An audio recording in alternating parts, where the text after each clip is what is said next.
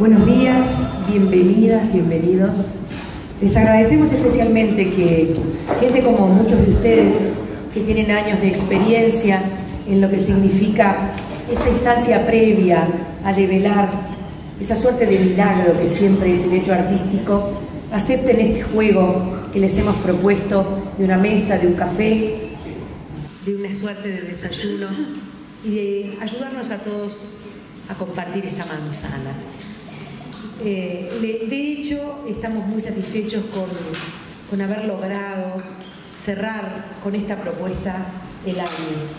No solo por el nivel de los artistas, no solo por la posibilidad de tener nuestra banda en, escena, en el foso, eh, mientras pasan cosas bellísimas y provocadoras en, nuestro escenario, eh, volver a escuchar las mejores voces, verlos desplazarse, tener una puesta en escena que recoge la experiencia eh, de una figura internacional, tanto en Buenos Aires como en Madrid. Queremos cerrar el año de la mejor manera. Eh, y creemos que este, lo decía recién Débora, es el talante que tratamos de tener en las fiestas. Eh, hemos tenido tiempos duros, todavía los estamos teniendo. Ustedes saben que estamos nuevamente con ciertas precauciones, pero nos cobija el verano, nos ayuda en la elevada temperatura, nos ayuda a que podemos socializar en lugares abiertos, en espacios públicos. Hemos ganado en la calle, eso nos ha hecho mucho bien y eso nos va a proteger en este verano. Nosotros desde aquí vamos a invitarlos a una propuesta que nos mide como sociedad a la hora del humor, a la hora de la sátira, a la hora de, la risa. Y, sabemos que esto es el sur, ¿sí? Sabemos que tenemos eh, particularidades como sociedad a la hora de, de procesar el humor, la trascendencia y quizás Europa se ría con otro desenfado de sus propias historias. Nosotros, sin embargo, creemos que esto también es parte de lo nuestro. Y hemos vivido un año de un homenaje marcado a la figura de China, quizás menos visible a la figura de Taco, pero nos gustaba realmente cerrar con esta propuesta y homenajearnos a los dos. Porque vaya si sabían hacernos reír, vaya si sabían utilizar sus mejores dotes para convertir lo trascendente en algo que sin dejar de serlo entraba en nosotros por el mecanismo de lo amigable, de lo amable, del disfrute, del goce, que de eso se trata. Cerramos el año con el fallecimiento de Omar Varela. Omar, con tantos años de sufrimiento, de dolor, de esfuerzo, con sus ganas de estar en su casa hasta el final, dirigió la versión última de esto. De alguna manera esto que ponemos en la mano de todos nosotros es un homenaje a China, a Tac, a Omar y a la bella Ilse.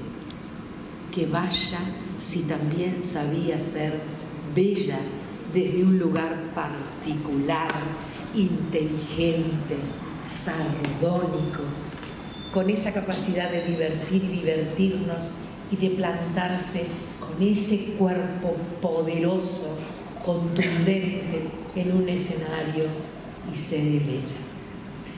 Así que a todos ellos va esta suerte de homenaje, un homenaje que queremos hacer de manera compartida, con un texto que adaptaron nuestros mejores y que lo trajeron a lo nuestro, al Río de la Plata, a nuestra realidad y por qué no también a nuestra realidad política. Y son tiempos políticos los nuestros y nos gusta la picardía política, ¿eh? Bien que nos gusta. Eso sí que es muy del Río de la Plata. Así que gracias por estar esta mañana con nosotros, gracias por correr la voz, por participar de esta propuesta, que pretendemos que sea para toda la familia, pretendemos que sea muy integradora, eh, que inclusive hemos propuesto, los compañeros lo saben decir mejor, una especie de, de pack de fiestas que promueve una copa en el Alegro, un lugar privilegiado para esa charla introductoria que con tanta idoneidad nos hace el maestro Martín. Eh, y la posibilidad también de regalar y regalarse, que esto sea un regalo de Navidad. Eh, por lo menos de la Navidad que hacemos nosotros, que es esta Navidad caliente, que es esta Navidad a contrapelo de la Navidad europea y creemos que la Bella Elena también será un espectáculo con particularidades nuestras. Así que tenemos esa propuesta que lanzamos hoy, es por unos días nada más, pero corran la voz. Nos va a gustar que la gente convierta la llegada a, eh, a una propuesta lírica en el Teatro Solís como un regalo. El que lo vive lo siente como un regalo, pero queremos que lo exteriorice y lo regale o lo pida. No digo que para los reyes porque esos llegan en otra ocasión. Así que nada, agradecerles la presencia, agradecerles a ustedes porque nosotros estamos aquí por un tiempo limitado y hemos llegado sobre nombres y carreras que muchos de ustedes han construido abonando el terreno para que esto pase.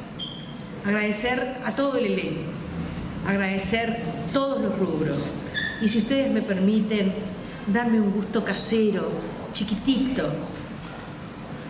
el de agradecer el año y saludar que ha tenido Juancho Salaví. Porque este Menelao, que hoy ven aquí como uno más entre nosotros, ha tenido un año importantísimo desde el punto de vista artístico.